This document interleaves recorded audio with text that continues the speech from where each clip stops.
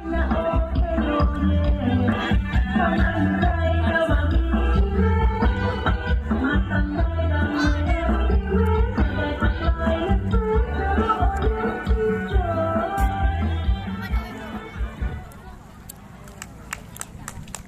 ่ะขอเสียงปรบมือดังๆให้กับการแสดงรำวงประยุกต์ของบ้านเราประฝางอีกครั้งหนึ่งค่ะ